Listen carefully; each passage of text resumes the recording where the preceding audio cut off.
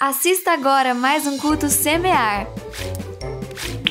Preparamos tudo com muito carinho. E a história de hoje é A cura do servo do centurião.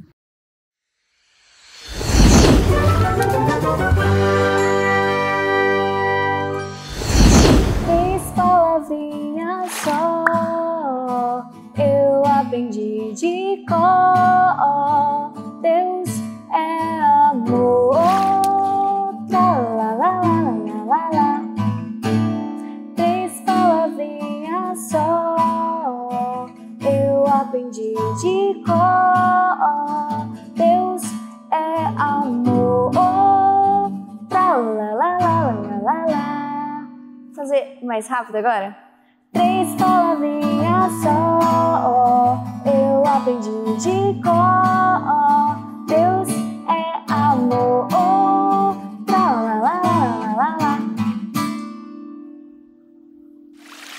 Ouça agora essa história de uma mulher que se deu mal só porque olhou pra trás, virou uma estátua de sal.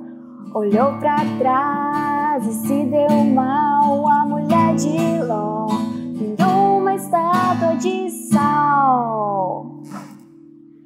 Joga fora a tristeza, diga adeus para nunca mais.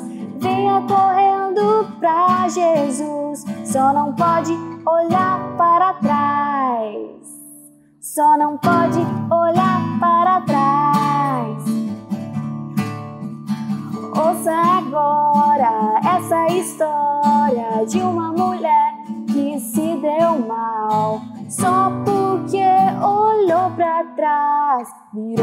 estátua de sal.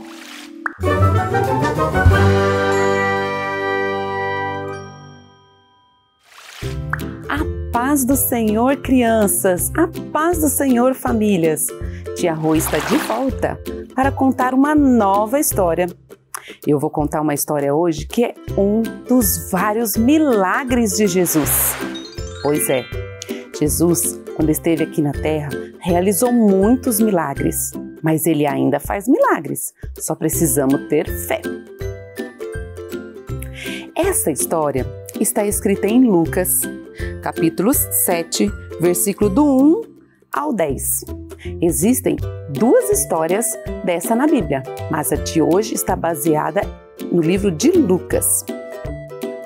A Bíblia conta que havia um centurião.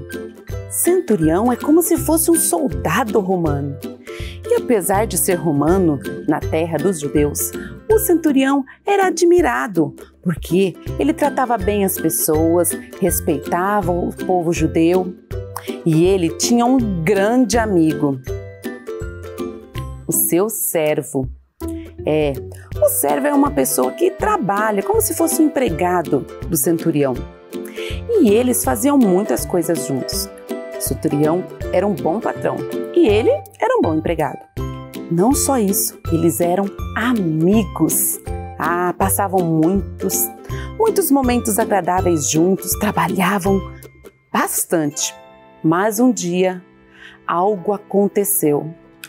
O servo ficou doente, muito doente.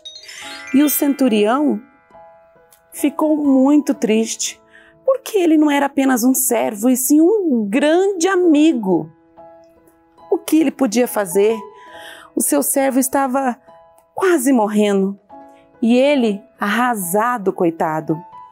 Mas ele ouviu falar de um homem, um homem, um profeta. As pessoas diziam muito sobre ele. Sabe de quem ele estava pensando? Eles estavam falando de Jesus. Jesus estava na cidade de Cafarnaum. Lá, o centurião ficou sabendo que Jesus estava lá e ele já havia ouvido muitas histórias sobre o Senhor. Ah, e ele pensou: se tem alguém que pode curar o meu servo, este homem é Jesus. E o centurião não teve vergonha de se humilhar e pedir favor, saiu correndo ao encontro de Jesus. E chegando ele, perguntou: Senhor, meu servo, meu grande amigo está doente. O senhor poderia ir lá e fazer com que ele se curasse? Jesus falou: Vamos então até a sua casa. Mas o centurião falou para ele: Não, Senhor, eu não sou digno que o Senhor entre na minha casa. Mas se o Senhor disser uma só palavra de cura, o meu servo vai se curar. Eu sou um soldado, sou um general, e o que eu mando, os meus soldados fazem. E eu tenho certeza que se o Senhor mandar, a doença vai embora. Jesus olhou para ele e disse: Olhe, em todo Israel não vi nenhuma fé como a sua. Vá embora em paz. Sabe por quê? O seu servo já está curado. Na mesma hora, o centurião encheu-se de alegria e correu para casa. Chegando lá, ó, quem estava de pé, prontinho e animado, o seu grande amigo servo. E os dois ficaram muito felizes com a bênção recebida por Jesus. Jesus é realmente maravilhoso, né? Ele faz muitos milagres. A nossa fé nos ajuda. Você tem algum pedido especial para fazer para Jesus? Vamos lá? Orar? Senhor, eu te agradeço por tudo que o Senhor tem feito na nossa vida e por todos os milagres que o Senhor fez e que ainda há de fazer no nosso meio. Obrigado por tudo, em nome de Jesus. Amém.